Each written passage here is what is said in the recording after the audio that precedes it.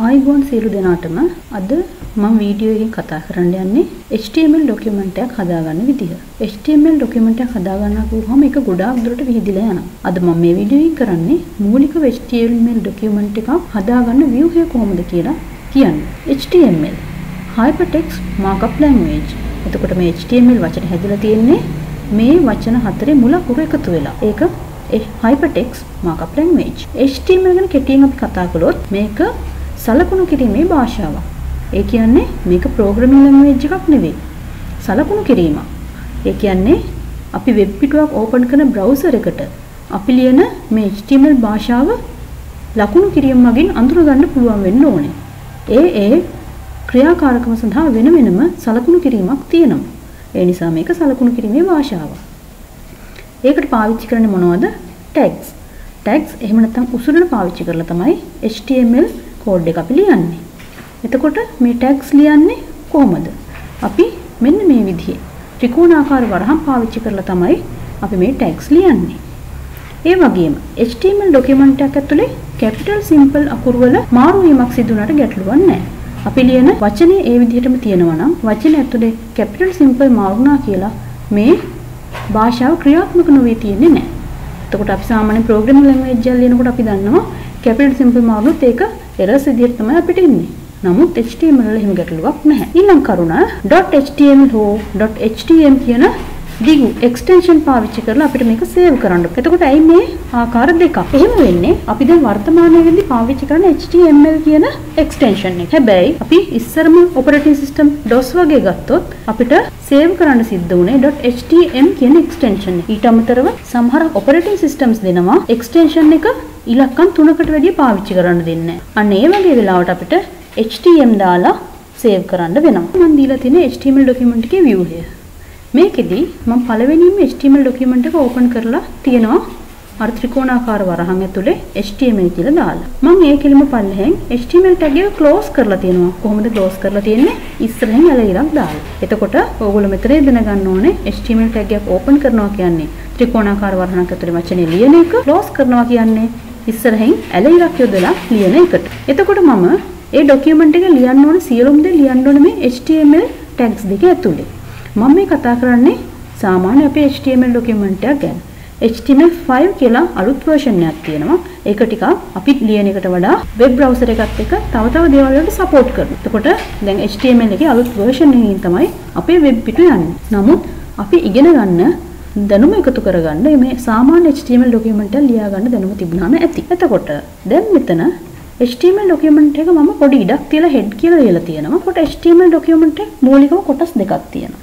ඒ තමයි හිස කොටස සහ කඳ කොටස. මම මේ ලියලා තියෙන්නේ හිස කොටස. මම මෙතනින් පොඩි ඉඩක් ඉඩක් ඇරලා ටැබ් එකක් තියලා ලියලා තියෙනවා. එහෙම ලියන එක අවශ්‍ය නැහැ. මම අපිට පේනකොට පැහැදිලිව පේන්න ඕන නිසා මම මෙතනදී පොඩි ඉඩක් තියලා ලිව්වේ. හිස කොටස සහ කඳ කොටස. එතකොට මෙන්න හෙඩ් කොටස ඇරලා වහලා තියෙනවා. බොඩි කොටස මෙතනින් ඇරලා වහලා තියෙනවා.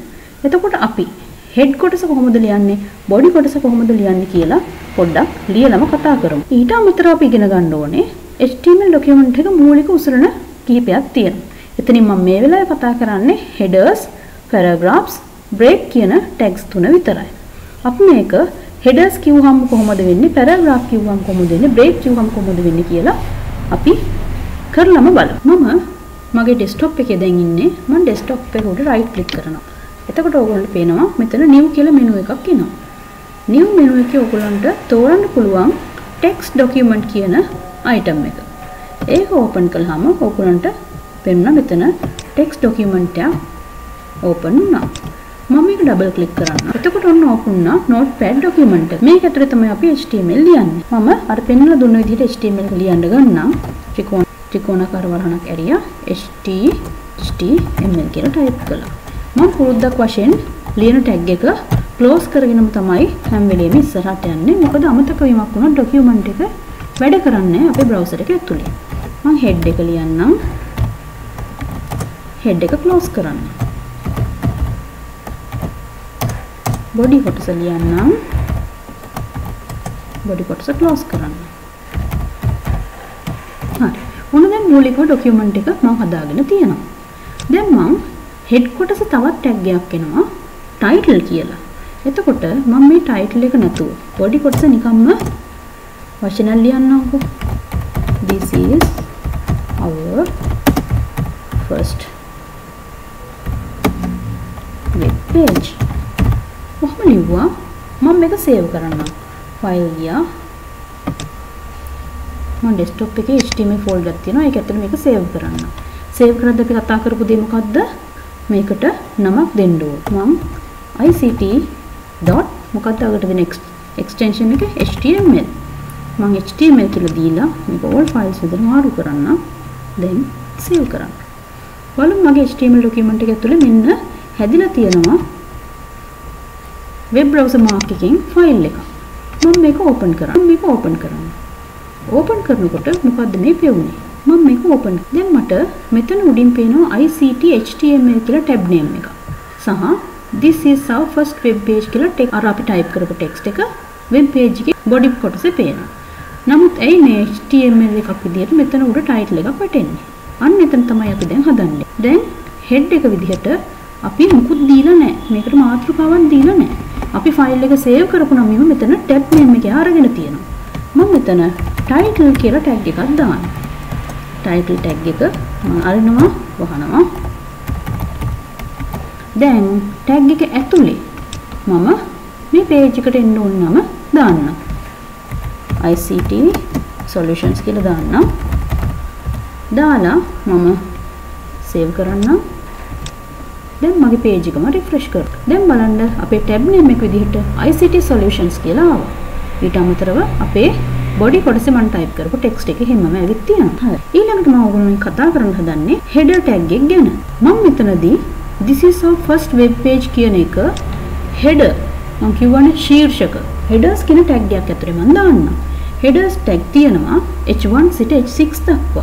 මම එළියපු text එකටම H1 tag එක දාලා ඒකේ අවසානයේ H1 කියන tag එක close කරන්න. අපි save කරමු. බලමු අපේ වෙබ් පිටුවට මොකද්ද වෙන්නේ කියලා. බලන්න තිබුණ අකුරු bold වෙලා ටිකක් highlight මම දැන් මේකෙම අපේ වෙබ් පිටුවේ H6 දක්වා මම font එක වෙනස් කරන්න. මම දැන් H1 ඉඳන් H6 දක්වා මගේ tags ටික type කරගත්තා. මම දැන් මේ අනුව වෙබ් පිටුවට මොකද්ද වෙන්නේ කියලා refresh කරලා බලන්න. බලන්න H1 ඉඳන් H6 දක්වා ටයිප් කරපු එකෙන් මට ලැබුණු ප්‍රතිඵලය. H1 වලට විශාල මකුරු ලැබුණා. H6 වලට කුඩා මකුරු ලැබුණා. එතකොට ඔයගොල්ලෝ ටයිප් කරන හෙඩින් එක අනුව අවශ්‍ය ෆොන්ට් එක කොයි විදිහට වෙන්න ඕනද කියලා පොඩි අවබෝධයක් තියාගෙන හෙඩර්ස් දාන්න. හරි. මම ඊළඟට යනවා පැරාග්‍රාෆ් ටැග් එක. පැරාග්‍රාෆ් ටැග් එක පාවිච්චි කරන්නේ ඡේදයක් යොදන්න. පැරාග්‍රාෆ් ටයිප් ටැග් එකක් ටයිප් කරනවා. මම පැරග්‍රාෆ් එකක් කොපි කරන් ඇවිල්ලා තියෙනවා. මම ඒක මෙතෙන්ට පේස්ට් කරන්නම්. පැරග්‍රාෆ් ටැග් එක මම මෙතනින් ක්ලෝස් කරන්න. හරි. මම දැන් මේක සේව් කරනවා. පල්ලෙහාමයි වෙබ් පිටුව. මම රිෆ්‍රෙෂ් කරන්නම්. බලමු මෙයාව ඡේදයක් විදිහට අපේ page එකේ load වෙයි. ඔව් බලන්න මම කොහෙන්වත් පල්ලෙහාට එන්න කියලා ලියලා නැහැ. එයා ඡේදයක් විදිහට මේක මට පෙන්නනවා. ඊට පස්සේ හිතන්න මේ සමහර තැන් වලින් මට මේ පිටුව තැන් තැන් වලින් පල්ලෙහාට ගන්න ඕනේ කියලා හිතන්න. මෙන්න මෙතන this කියලා වචනයක් තියෙනවා. අන්න මම ඕගොල්ලන්ට කියපු තවත් tag එකක් මෙතනදී අපිට පාවිච්චි කරන්න පුළුවන්. ඒ තමයි break tag එක. අපි break tag එක කොහොමද ලියන්නේ? ත්‍රිකෝණාකාර වටනක් ඇරියා VR කියලා දැම්මා. ඔන්න ඔය විදිහට ඇලවිරක් දාලා වහන්න. මේ tag එකේ විශේෂත්වයක් තියෙනවා. අපි මෙච්චර ලියපු හැම tag එකම open සහ close කියලා ක්‍රම දෙකක් තිබ්බා. හැබැයි මේ tag එක empty tag එකක් විදිහට හඳුන්වනවා. මෙයාව close කරන්න අවශ්‍ය නැහැ. එතකොට open close දෙකම එකතැන සිද්ධ වෙන විදිහට මෙතන BR වලට ඇලයිරක් දාලා ලියුවාම මේ tag එක වැඩ කරනවා. අපි දැන් මේක save කරලා බලමු මේ ඡේදෙට මොකද වෙන්නේ කියලා. බලන්න එක තැනකින් පල්ලෙහාට ගියා. මට තවත් තැනකින් පල්ලෙහාට යවා ගන්න ඕන නම් මට මෙතන this කියලා පේනවා. මම මේ වාක්‍ය ගාවින් පල්ලෙහාට එන්න කියලා ලියන්න. BR ඇලයිරක් save කළා. තවත් පේලියක් පල්ලෙහාට ගියා. අද ඉගෙන ගත්ත තාම කුඩා tags ගානක් අපි ඉගෙන ගත්තේ මූලික වශයෙන්. මම හිතනවා ඕගොල්ලන්ට ඒ ටික පැහැදිලි වෙන්න ඇති කියලා. 好的，哎，对。